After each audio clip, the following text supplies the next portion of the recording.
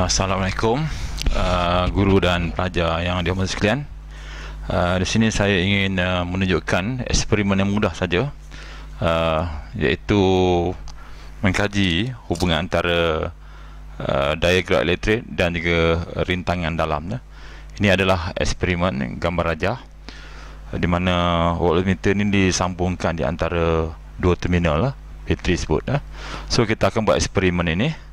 Okay, ini eksperimen telah pun saya sediakan uh, Kita perlukan dua rheostat lah Supaya kita boleh dapatkan julat nilai arus yang bersesuaian ya. Julat uh, nilai arus yang bersesuaian ya. Uh, rheostat pastikan sambungan ketat ya. uh, Ada tiga terminal rheostat ni A, B, C Jadi mesti sambungkan kepada A, B atau C ya. A, B atau C Tak boleh pada B, C ya. A, B atau C. Okey, dekat sini saya gunakan dua rheostat uh, untuk pastikan julatnya sesuai. So kalau cikgu dapat nilai rheostat uh, nilai ohm yang berbeza tu ataupun nilai ohm yang kecil tu tak masalah ya.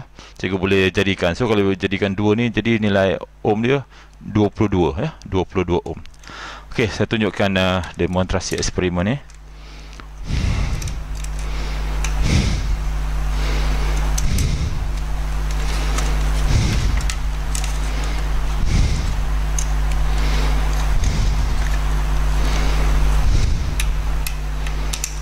Okey. Sambungan terakhir sempurna. Saya mulakan bacaan daripada uh, 0.4. Uh, cuba lihat uh, nilai arus. Uh, bahasa semasa uh, arus 0.4 nilai arus kan satu julatnya di bawah ni tiga. Uh, kemungkinan bila ada sentuhan bacaan dia terganggu uh, dah berubah-ubah nilai ya. So sambungan ni kemungkinan ada masalah. Okey. Ha, 0.4 nilainya 1. Kemudian saya tambahkan nilai ampere dia, eh, nilai arus dia. Okey, uh, 0.5. Ha, tadi bacaan 1. Uh, 1.1 sekarang ni dah kekurangan 0.5 kemudian saya tambah lagi bacaan dia 0.6 bila tak mampu restart satu ni tak dapat Uh, beri julat yang apa lebih kecil kita gunakan rostat nombor 2 okey okey 0.6 okey bila dapat 0.6 kita dapat bacaan wattmeternya makin berkurangan ya. Kemudian kita kurungkan turunkan kepada 0. Uh, 0.7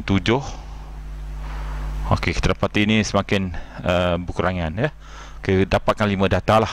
Uh, pastikan sambungan yang ketat dan pastikan uh, uh, holder uh, holder battery holder ni pun sempurna eh.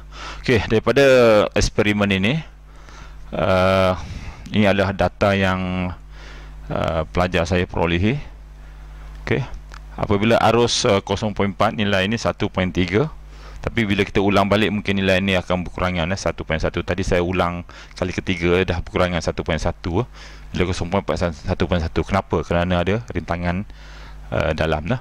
Kemudian bila 0.5 uh, ini 1.2, 0.6 1.1, 0.7 beza keupayaan 0.1 uh, 1.0 dan seterusnya lah.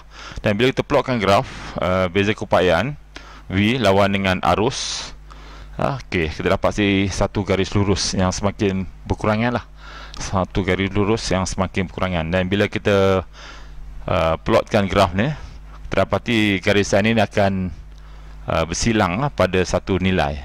Uh, nilai ini adalah E, eh, daya gerak elektrik. Nilai E dan nilai inilah 1.7. Eh. Uh, apa hubung kait eh, kecerunan graf?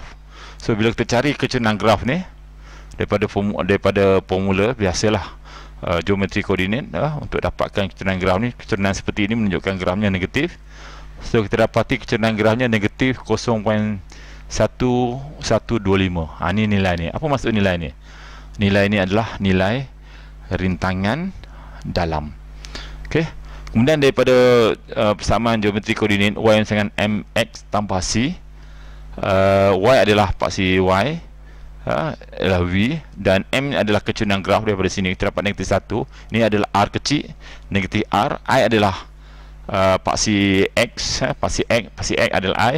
Dan tambah C C adalah E. Ha, jadi kita dapat satu persamaan yang baru.